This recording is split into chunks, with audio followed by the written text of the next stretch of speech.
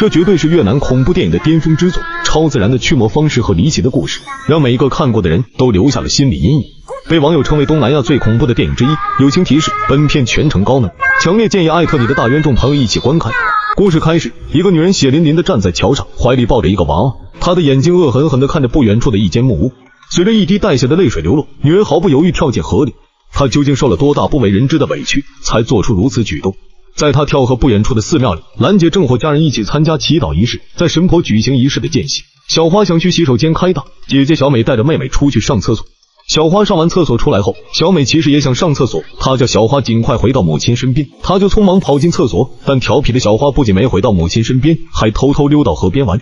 就在这时，不远处漂浮着一个娃娃，吸引住了她。她慢慢靠近娃娃，然后伸手想把娃娃捞上。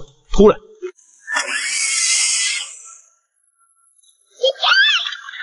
女孩拼命呼救挣扎，但还是无济于事。很快，水面就恢复了平静。当她的母亲看到小美独自回来时，她立刻感到有点不对劲，一家人顿时乱了阵脚。这时，狗的叫声从河边传来，但当他带人们到达河边时，却只看见小花漂浮在水面上的鞋子。人们立即展开了搜救。母亲愤怒地指责小美没有好好照看好妹妹，随手就给了两巴掌。奇怪的是，不管他们怎么找，始终没有找到小花的尸体。而站在远处的姐姐脸上写满了愧疚和不安。整整一个星期过去了。女孩还是活不见人，死不见尸。神婆来到她家为女孩举行下葬仪式，家人也慢慢接受了女孩去世的事实。这时，父亲的彭丧彪来到他家里，说没见到你女孩尸体之前，没人知道她的死活。说完就把一盘半红花放在公台上，这是一个当地的民俗传说。据说只有在半红花上放一个快孵化鸡蛋，就能实现你的任何愿望。虽然父亲平日不相信鬼神，抱着试一试的状态，他恭敬的献上了鸡蛋。也许正是因为这个鸡蛋彻底改变了家庭的命运。这时，一个小男孩在河边就发现了一个小女孩的尸体。小美弟叔叔得到消息后，第一时间赶到医院认领尸体。医院护士也提醒他做好心理准备。但让他们没有想到的是，当停尸房门被推开时，小花奇迹般的活了过来。这时，她脸色苍白，满脸泥土，全身湿透，就像刚从水里爬出来一样，身体还在不停的颤抖。姑姑的奇怪，叔叔赶紧把她带回家。父母急切的围起来关心询问，只有小美因为内疚不敢上前。第二天，父母大根惊讶的发现，盆栽里的植物开了一朵小花，昨天放的鸡蛋变成了空壳，好像鸡蛋被植物吸收了一样。当他感到困惑时，他又接到了朋友丧彪的电话，提醒他每天照顾好花盆，这可以给大根带来好运。女儿已经回来了，大根并不是太在乎，但事情越来越奇怪，回来后的小花和以前大不相同，一直关系良好的姐妹俩开始变得疏远。这一天，他们在院子里玩耍，小美手上突然青筋暴起，脖子上冒出白烟。开始不受控制的抓挠，母亲她惊讶的发现小花的脖子上有一个奇怪刺青痕迹，母女俩也一脸懵逼。更奇怪的是，父女俩在书房玩游戏，当他们准备睡觉离开时，父亲惊讶的发现小花的裙子上沾满了鲜血。夫妻俩把女儿带到浴室，母亲不敢相信六岁的女儿竟然来月经了，只见她浑身颤抖，仿佛被什么邪灵附身了。母亲吓坏了，赶紧把她带到神婆家。此时的女孩已不再像个人类，一直盯着天花板，嘴里还哼着童谣。为了治愈她。神婆决定举行一场仪式驱魔。神婆神情紧张，嘴里不停的念着晦涩难懂的咒语。一段鸡飞狗跳的操作后，她将黄符烧成灰，放进入水中，强行倒入小花的嘴里。小花立刻浑身颤抖。她的父母想上前阻止，却被神婆拦住了，要求他们坐在原地不要动。随着一声悲惨叫声，女孩晕倒了。神婆的摇了摇头，告诉夫妻俩驱魔失败了，因为附在女孩身上的不是鬼魂，而是一个活人的灵魂。想赶走她，必须找到这个人。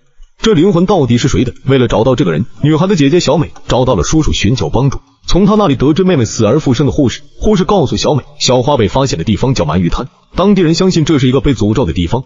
原来，在妹妹被发现的那天，警察还发现了另外两具尸体，这两具尸体都是女性，一个叫淑芬，被锋利的武器刺死；另一具尸体是被淹死的，身份不明。但最让他震惊的是，两个死者脖子上都有一个像刺青一样印痕，和他妹妹复活后的一模一样。至于为什么死而复生，医生也不能给出确切的答案。事情变得越来越复杂。为了找出真相，小美按照医生提供的线索，来到了淑芬母亲的住处。一进屋，一个奇怪的女人就出现在她身后。她就是小美想找死者淑芬的母亲。自从淑芬出事以来，女人的精神一直不正常。他先把小美当女儿，过了一会就把小美当杀女儿的凶手。最后，在小美弟安慰下，女人慢慢恢复平静。她把小美带到女儿生前的房间里。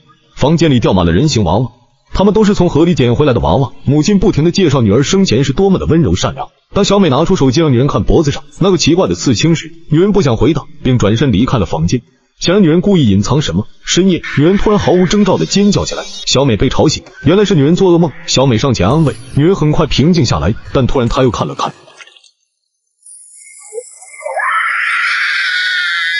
小美完全没有注意到身后有什么东西，原来是一个女鬼慢慢飘了过来，女鬼伸出手指，好像逼着女人说出什么真相。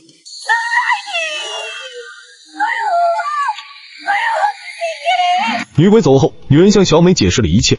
这个神秘的刺青实际上是风月场所的标志，在当地，女孩经常被拐卖到风月场所当赚钱工具。她的女儿淑芬也是受害者之一。女鬼叫小雪，生前也是个苦命人，她被坏人绑架卖到风月场所，直到怀孕才侥幸逃脱。来到这个岛后，她生下了一个女儿。后来，淑芬发现小雪有着同样的经历，这让他们成为了无话不谈、相依为命的好朋友。然而，美好的时光并没有持续多久。有一天，坏人在这里找到了他们。一天晚上，他们冲进房子，想带走女人。两姐妹拼命反抗。在反抗的过程中，淑芬被用玻璃瓶捅杀了，小雪的女儿也被他们抢走了，只留下了奄奄一息的小雪。当淑芬的母亲赶到，看着躺在地上的女儿，她把所有的愤怒都发泄在小雪身上。在淑芬母亲的话语刺激下，小雪带着怨恨跳进了河里，成功的变成厉鬼。她一直在寻找复仇的机会，现在机会来了。女鬼小雪鬼魂附身在小美身上，回家后，小美竟直接走到继父阿强书房，轻松打开保险箱。然后从保险箱里拿出一张光盘。这时，母亲下楼发现女儿被鬼魂附身，迅速找到阿强和神婆帮忙。阿强赶到，被附身小美用锤子砸伤了。还没等大家反应过来，女鬼就附身在母亲身上。然后小雪问阿强是否还认得自己。原来阿强是小雪的第一个客户。阿强还有一个怪癖，就是用相机拍摄了整个侵犯过程。小雪发誓要杀死阿强所爱的人。然后他的老婆开始吐出脏水。很快，女人失去了呼吸。然后他附身于小花身上。看着女儿再次被附身，阿强只能一巴掌把她打晕过去。这时他已经知道最初附身女儿的灵魂是谁了。然后带着神婆和女儿来到活动场所，躺在床上四肢被绑的正是他们要找的小女孩。她是女鬼小雪的女儿。在摸女孩身体的同时，神婆也感觉到了她所做的一切。可在阿强的胁迫下，神婆只能答应帮他驱魔。他把两个女孩绑在一起，随着在女孩头上贴上符咒，仪式正式开始。女巫左手拿着圣水，右手拿着灵符，一口圣水喷了出来。火突然熄灭，女孩痛得尖叫起来。就在大家都以为一切结束的时候，身边的合作伙伴撕下了黄符，被小花吐出来的脏水喷在身上。女鬼成功转移了宿主。阿强见状，马上把她推出房间，然后锁上了门。与此同时，家里的小美醒了。醒来后，小美看到了母亲的尸体。就在她不知道发生了什么的时候，那片光盘吸引了她的注意。她打开光盘，看到了继父最脏的一面。屏幕上出现了女鬼小雪被强烈侵犯的画面。小美很痛心，只好向警察叔叔求助。警察叔叔也迅速行动起来，很快就带人包围了活动场所。阿强为了隐藏自己的丑事，还不惜下手杀了神婆。当警察叔叔到达时，阿强把一切都推给了场所的伙伴。不久之后，阿强抱着两个孩子回家了，但不管他怎么喊，女儿始终都没有反应。这时，小美走了出来，她告诉阿强，小花被发现尸体时已经死了。之所以能活到现在，是因为小雪的女儿灵魂占据了小花的身体，没有灵魂的身体活不下去。现在把女儿体内的灵魂赶走了，小花也就是个尸体。听到这里，是处于颠簸状态。阿强为了让女儿复活，竟然想杀死女孩，让她的灵魂重新回到女儿的身体。这时，大美不能坐视不管，她拿起雕塑砸向阿强。此时，阿强变得更加疯狂，掐住小美的脖子，想痛下杀手。